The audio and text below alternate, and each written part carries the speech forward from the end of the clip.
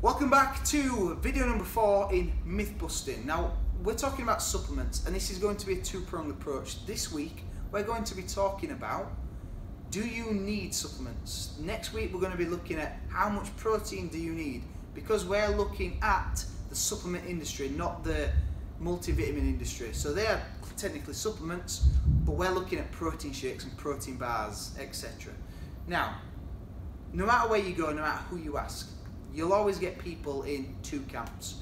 One camp will say, yeah, you know, you don't need supplements.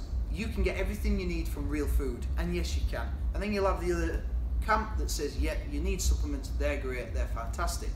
So let me ask you this: you need to answer this, yes or no.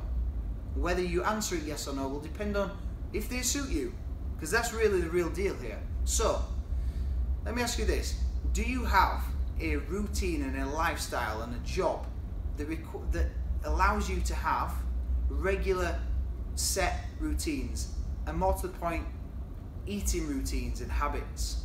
So can you sit down and have regular meals? If the answer is yes supplements you don't really need them. You can get most of the protein and most of the macronutrients that you need from food. But if the answer is no and you've got a job that requires you know maybe a lot of driving a very demanding job that requires people at you all the time, taking your attention, and maybe you're between meetings, you don't get time to sit down, you're literally grabbing the next thing, then a supplement might be for you. Because I know if I'm between appointments with a busy day and I don't have time to sit down and eat real meals, that's a problem. Because if I miss a meal, I know that the next thing I see, I'm going to eat, and it's probably, probably going to be junk.